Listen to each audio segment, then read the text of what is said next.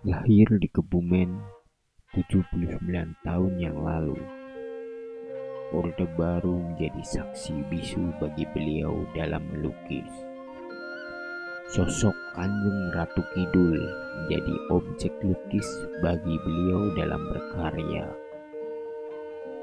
Eyang Sejati Ningsih yang lebih akrab dengan sapaan Eyang Jati.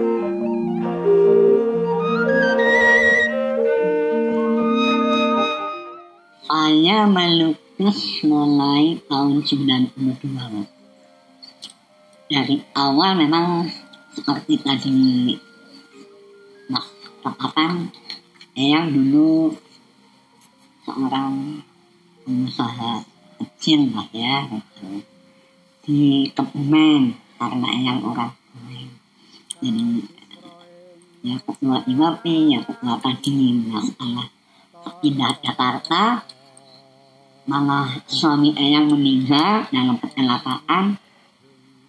Lalu Eyang alih profesi jadi pelukis tentunya nggak nggak jarak nggak karena kesedihan itu ngalamun nah itu.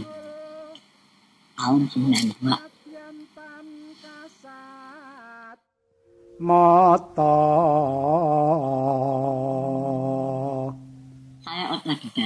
saya malah dulu kepengen masuk akademi seni rupa saya SMA 1 Purwokerto tamat tahun 61 aku kepengen ke akademi seni rupa asri. Ibuku apa?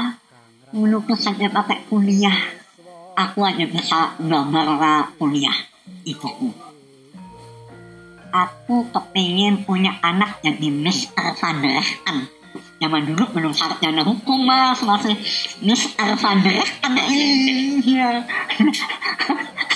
makanya aku kuliah di Undip nah tapi selesai juga karena aku pengen melukis ya nggak tangguh lah dan KTP saya nggak ada SH-nya yang nggak ada. Kalau kalau ke saya udah SH.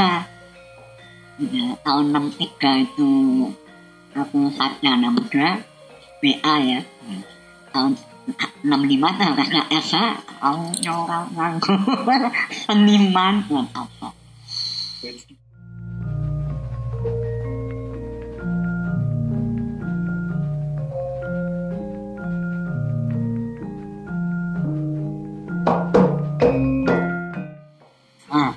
Kenapa Eyang kok ambil tokoh Ratu Kidul itu pun Eyang eh menganggap beliau itu apa ya inspirasi apa ya tokoh karismanya wanita.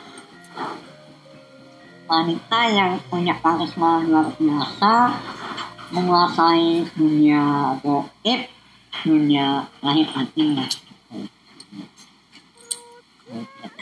Jadi eh, ini tokoh ayu-ayu newong Banyumas. Hmm. Namanya uh, dari Mas Intan ada yang menjuluki uh, Rantan Sari. Rantan Sari itu garwane Aji Barang, Adipaten itu. Dan beliau adalah tokoh wanita Banyumas paling ayu, paling bawah, paling Eyang senang melukis wanita-wanita yang punya karisma.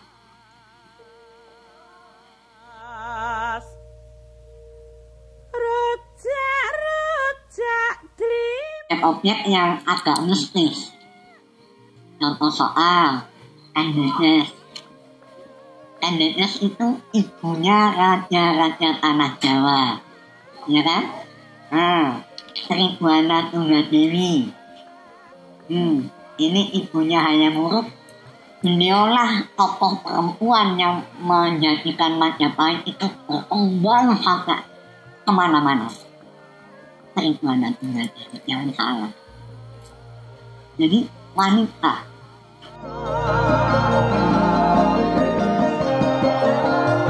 Ah, ini mbak, karena beliau-beliau adalah uh, figur figur apa ya yang yang kita ya maaf maaf ini kadang kita bertantangan juga dengan iman ya. Nggak bisa ini. Jadi uh, kita karena beliau itu ada. Beliau itu umat yang Allah sama-sama kita umat yang Allah. Jadi kita nggak mendoakan Tuhan mbak. Kita mohonnya ke Allah ya Allah dekatkan hambanya. Jadi satu minallah satu minanas jadi uh, sangatlah keliru kalau oh eyangnya kayak anu kayak musyrik kayak anu mendoakan Tuhan buatan jadi untuk beliau-beliau yang yang yang nus saya memang pakai lagu karena uh, beliau itu orang yang yang punya kekuatan batin yang sangat kuat. Dan itu budaya kita mbak. Budaya harus kita langsungkan kita lestarikan nah itulah jadi yang kadang-kadang jangan saya buat jadi enggak kadang-kadang udah paranormal kok mbak. Saya bilang saya bukan paranormal saya cuma penulis. Kebetulan yang saya nulis itu hal-hal yang goib kalau misalnya ada hubungan ya jelas ada lah itu objek saya apa mana yang orang pamitan itu ya mbak. Itulah kira-kira jadi ya jadi uh, lepas dari musik apa orang lah ya. Saya mohon uh, mudah orang ini ini uh, memang saya pakai ini dan saya karena saya orang Islam saya sholat hajat niat mau melukis dan malam saya meditasi saya matur ya Allah temukan saya dengan beliau. Tapi saya pamitan lalu saya melukis setiap saya mau melukis beliau-beliau ini saya selalu ambil air wudhu jadi saya selalu ambil air wudhu dengan kata ya ya bersih mbak. Kalau bakal wudhu mandek mbak. Berhenti. Nanti saya ambil air wudhu lagi mudah-mudahan uh, jadi hal yang baik saya menulis dalam keadaan sedih dengan harapan kalau toh makanya kadang-kadang nggak boleh tuh anaknya anu apa gini gini gini bukan. Kalau toh misalnya ada yang mampir di situ ya yang bagus jangan yang itu di saya harap seperti itu. Lepas lepas ke sananya walau alam sawab nggak kita hanya menunggu saja ini hasilnya ya seperti mbak lihat. Hmm.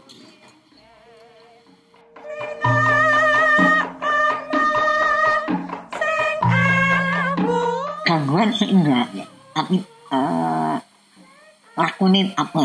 Ya itu yang satu itu. Yang itu yang pertama kali. Ya kayak contohnya eh, contohnya misalnya harus makan apa itu setelah itu aku harus mencari kembang udak wangi. Udak wangi. Itu udak wangi itu kembang pandan pandan wangi pandan tapi yang wangi banget. Udak wangi. Nah itu kalau kembang kembang megar itu kan bulannya apa nanya sore mas Alhamdulillah aku nyari ketemu orang nana mas. Saya bisa ambil kembang itu di Belanda Alhamdulillah. Nah setelah itu terus buang perapatan tak buang perapatan Alhamdulillah nah itu mungkin ada maknanya juga ya. Saneko saneko saneko kembali lagi saneko oh, tidak wangi itu apa? Mungkin akan bawa wangi gitu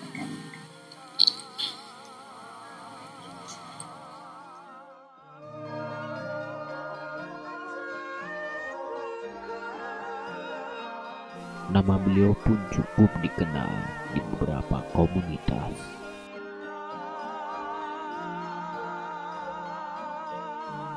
Seperti Ikatan Wanita Pelukis Indonesia, 100 pelukis wanita Indonesia,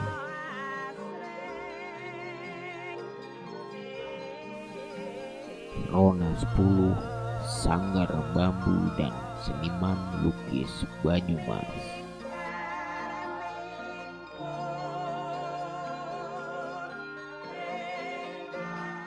Terus pameran pertama 93 dibuka oleh hmm, tim Nah, uh, tahun 95 saya pameran kebetulan ketemu sama Pak Basuki Abdullah. Nah, waktu itu beliau mengatakan eh, me, me- apa me, apa mensupport Eyang supaya udah ambil objek ini aja. Karena waktu itu pameran 100 pelukis wanita semuanya gambarnya wah semua mbak. Yang lukisan ratu itu cuman aku gitu. Nah saya matur pak ini maaf saya eh, niru-niru bapak bikin ratu itu niru apa nggak apa-apa gitu. Nah akhirnya udah ambil objek ini aja karena tidak semua pelukis berani melukis wanita itu. Nah, ini yang anda yang garis bawahi sih gitu. Nah, makanya saya mulai melukis. Alhamdulillah. Sekarang.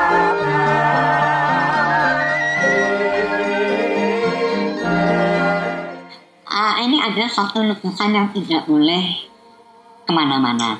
Ada satu lukisan, ya. Kebetulan kalau mau lihat nanti di HP aja, ada soalnya di kamar, di kamar tidurku.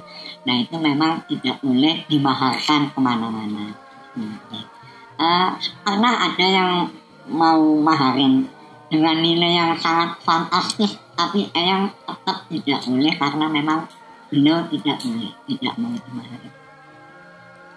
Hmm. Karena pada saat melukis itu awal-awal dari melukis mbak awal-awal ya bukan awal ya tahun 95 dan jadi kita mulai ini eh, itu memang prosesnya agak lain kalau biasanya cuman puasa apa nganyak apa mutih kalau ini selama 40 hari full makan di batok ini. Ya itu sebetulnya sanepo mbak. Sanepo. Semuanya adalah sanepo ya. Jadi harus misalnya ah, murah segoro. Jadi oh kamu harus murah segoro. Murah segoro tuh orang mangan punya orang mangan lombok orang mangan budak nanti nganyep nganyep ini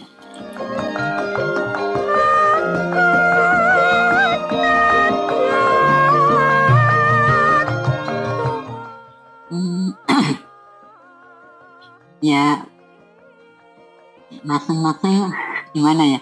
Kayak putranya HP 9 itu Pangeran Hadi Suryo Kanjeng Gusti Pangeran Haryo Hadi Suryo itu juga mengatakan bahwa eh, lukisan saya itu memang buat dia istimewa gitu. Artinya pas banget gitu. Eh, nah ya sampai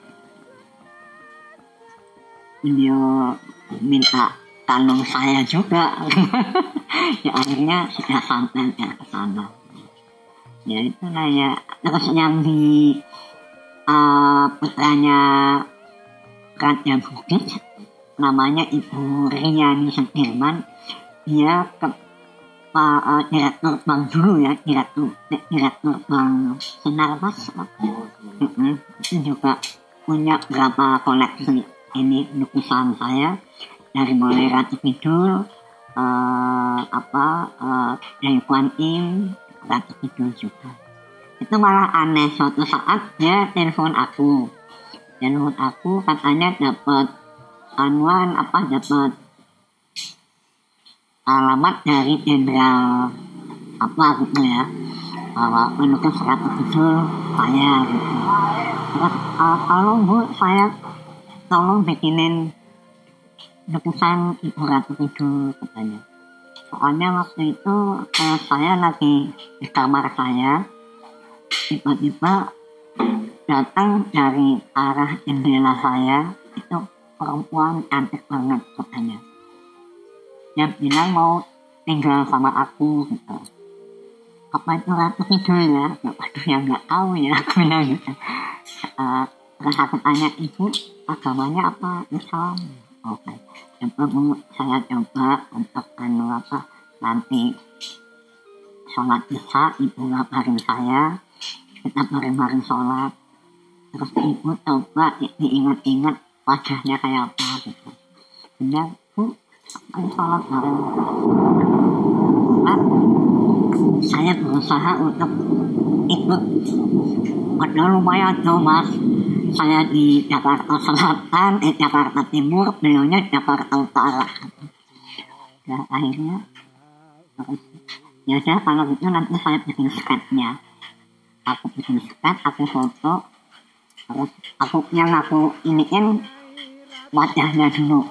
Wajahnya tak bikin ininya masuk sket Terus tak foto, aku ke kantornya Kaget dia, iya orangnya ini. Iya. Bolo drubeksa miwah lelembut. Saya nggak berani bukannya nggak nggak nggak berani. Nanti kalau misalnya anu nggak berani ini kalau eh soalnya saya berusaha untuk yang baik. Dengan air saya selalu dalam air itu jadi kalau yang buat ini kaki gitu ya.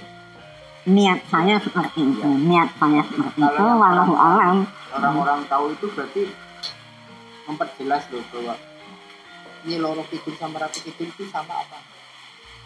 beda beda iya Tanjung Ratu Kidul sama Nyai Roro Kidul beda Hmm. Tak ada yang mengatakan Nyai Roro Kidul itu angkat atau gimana gitu? Ada yang mengatakan gitu. Tapi malah Allah misalnya kalau saya nggak berani ini ya takutnya. Kok ya bakal benar ini ya saya berharap yang saya nulis adalah Ratu Kidul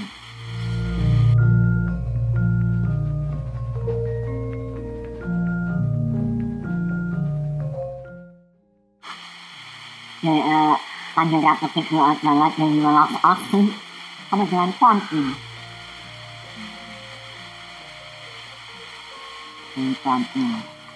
jadi kalau kalau mengatakan kamu ini ini bukan bukan yang bukan yang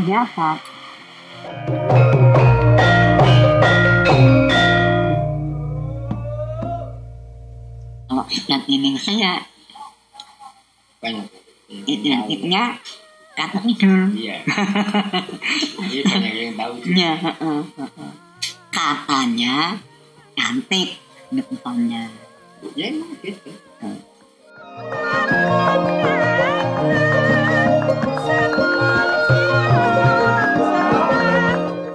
Dan itu aja makanya pasar saya di Jakarta di Jawa Timur. Dan itu rata-rata pejabat ya. Ya, pejabat masih rapat keraton. Ini ada satu yang orang Banyumas, alhamdulillah. Orang pejabat juga. Ya, Iya. anu malah bukan bukan pejabat malah ya kesepuan ya.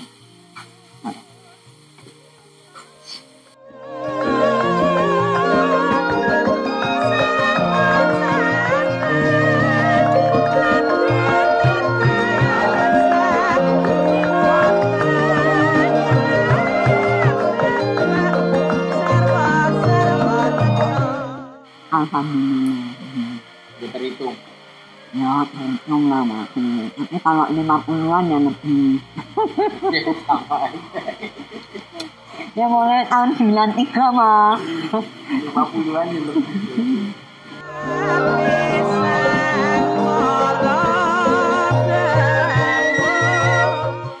Saya memang jarang laku di pameran.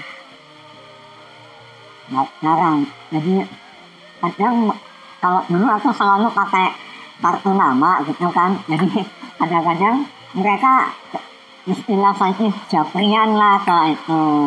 Nah kalau sekarang saya tua, alhamdulillah hanya terima pesanan. Nah, ini karena mau pameran, aku bikin stok buat pameran. Dan aku pengen karena aku pelukis, aku orang di rumah, orang di apa, dari lukisan aku pengen mewariskan ke anakku satu-satu. Tapi Tapi selama pesanan ini offline bukan online? Ah ada yang online ada yang tapi mau buka online juga? Kan, ah, kan aku punya ide ya. Aku punya ide iya ada juga yang karena aku ada di kontennya Mas Reza terus dia hubungi saya gitu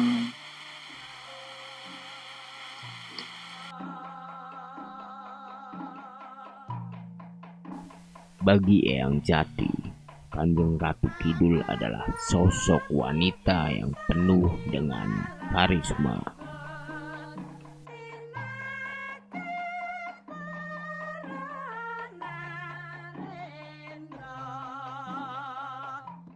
Kapur-kapur oh itu tahun tahun tujuh tahun yang lalu tahun yang lalu empat tapi aku mondar mandir stylenya ini baru. Nah, yang agak lama menetap ini berapa tahun ini. Jadi ada kegiatan seniman nama Bahati dikabari yuk ada acara ini ini aku pulang yuk pameran aku pulang oh itu saya Indonesia nggak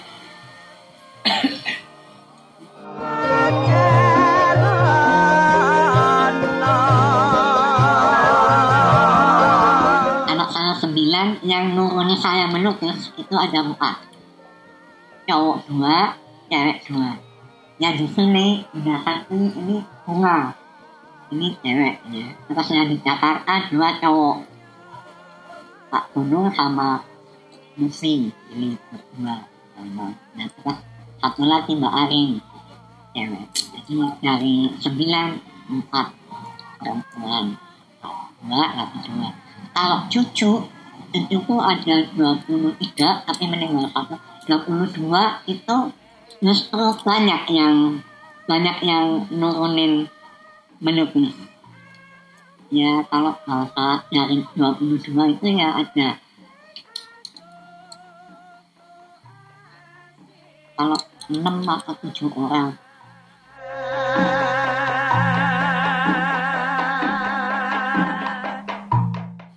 Jadi kami merencanakan nanti mungkin April mau bikin pameran keluarga dari eyangnya, anaknya, sama cucunya. Insya Allah kalau eyang masih panjang umur.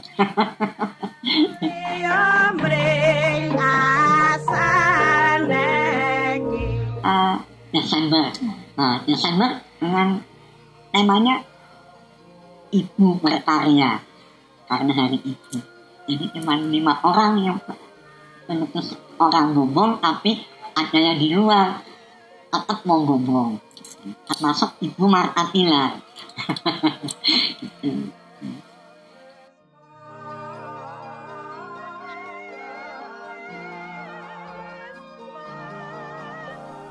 Tak hanya sebagai pelukis, Eyang Jati pun sangat lihai dalam menari. Walaupun seorang wanita, beliau lebih banyak berperan sebagai karakter laki-laki. Beberapa pagelaran besar pun pernah beliau ikuti, hingga setara nasional.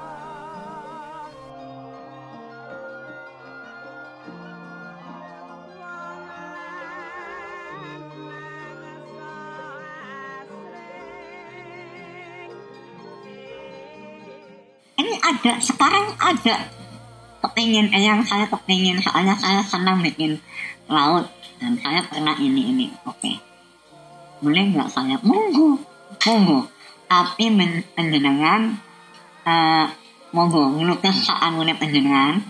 Kalau kepingin anu kayak ya monggo.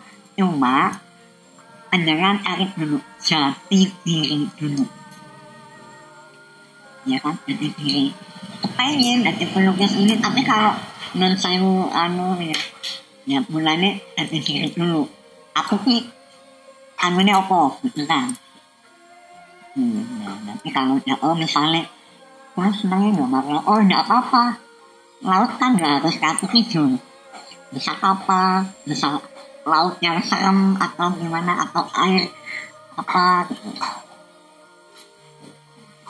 Jadi nomor satu ganti diri dulu. Kalau memang konten kemarin gambar itu ya pasti akan dan memang banyak mas. Banyak contohnya di Google. Banyak sekali kan? Tapi non saya. Nah. Oke.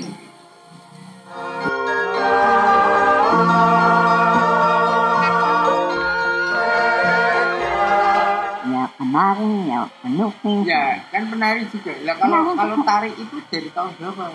dari kecil mas. Karena saya bapak saya kan kepala sekolah. Punya gamelan ya guru nari juga. Cuma wanti-wantinya eyang nggak boleh nari perempuan. Cowok harus cowok. Kata bapakku wong punya alat ya didandani medon ayu.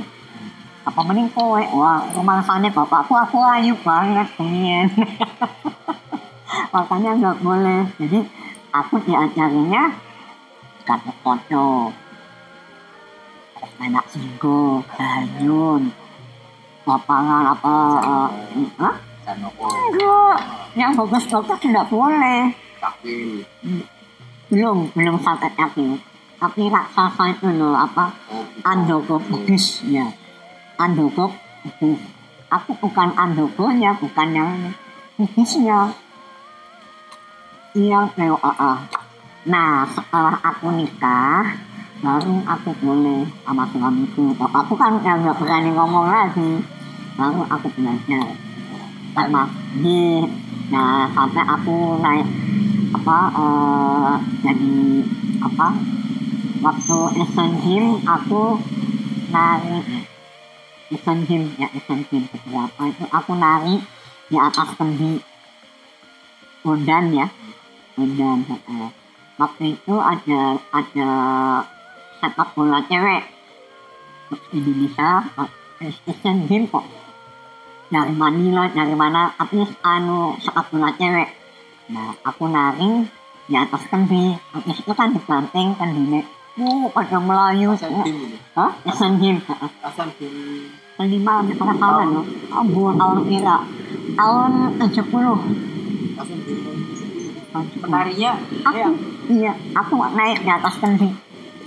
Nah, itu pas dibanting, kepingan itu, wuh, gorekan. Ya sangka aku naik di atas kayu. Nah, kan aku lagi hamil? Kelima. Bilang loh, Itu pagelaran gede itu ya. Games, Pertama kali itu ya. tahun Apa? Asian Games tahun tahun puluh loh Pertama kali nari Asia pagelaran gede Asian Games. Oh, enggak juga. Sebelumnya, sebelumnya aku nari hidang. Itu juga terus nari hidang, nari danau kapil. Ya, hidang. iya juga lah.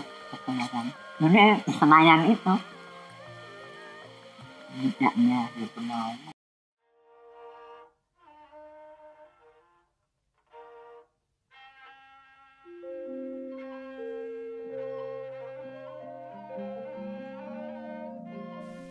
Begitulah kisah salah satu seniman lukis wanita yang masih tetap berkarya di usia senjanya.